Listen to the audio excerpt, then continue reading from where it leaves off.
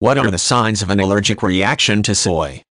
The most common signs of an allergic reaction to soy include hives, itching, and swelling of the facial area, tongue and throat, or other areas of the body. Gastrointestinal pain, tingling in the mouth, or difficulty breathing are other typical signs. In most cases, an allergy to soy is not serious but may be uncomfortable. Rarely, an individual may suffer a severe reaction to soy called anaphylaxis. Anaphylaxis is a medical emergency that often causes shock, rapid pulse, and airway constriction that makes it almost impossible to breathe. For most people, the symptoms of a soy allergy are annoying but not life-threatening. Many people experience gastrointestinal problems like vomiting, nausea, and stomach pain. The mouth may tingle or the skin may itch, develop hives, or flush. Parts of the body can swell and the person consuming soy may wheeze or experience a runny nose and trouble breathing.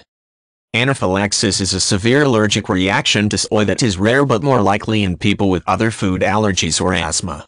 This is a medical emergency that often causes a swollen throat that impedes breathing, shock, and full body flushing. Rapid pulse, lightheadedness and a quick drop in blood pressure are other symptoms of anaphylaxis. The symptoms of an allergic reaction to soy usually manifest within a few minutes to several hours after eating a food product that contains soy. Soy may appear on a product label as soya, soybeans, glycine max, or edamame. Tofu, miso, and tempeh are products with soy as a main ingredient. Hidden sources of soy include hydrolyzed and textured vegetable protein, lecithin, and vitamin E vegetable oil and monosodium glutamate are other common but hidden sources of soy protein. People with a soy allergy can also look for the wording, contains soy on the label when in doubt. An allergic reaction to soy typically manifests for the first time during infancy when a child reacts to soy-based infant formula. The majority of children with this food allergy will eventually outgrow it, but in some cases it will continue into adulthood. Breastfeeding for the first four months or using a milk-based formula may help reduce the risk of food allergies generally. Like all food allergies, an allergic reaction to soy is caused by an immune system reaction. The immune system mistakenly determines that soy proteins are harmful and produces antibodies. The next time soy is introduced into the body, these soy protein antibodies trigger the immune system to release histamine. Histamine in addition to other chemicals, causes the symptoms of an allergic reaction to soy.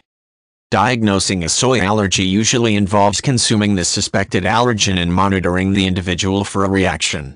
A doctor may also perform a skin test during which the skin is pricked and exposed to a small amount of soy protein. A person allergic to soy protein will develop a hive at the site of exposure. A blood test that detects the amount of soy protein antibodies in the bloodstream is also available. Those with a soy allergy have to avoid all soy products in order to prevent an allergic reaction.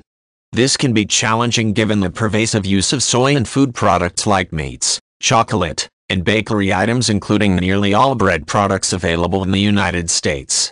Many breakfast cereals also contain soy proteins.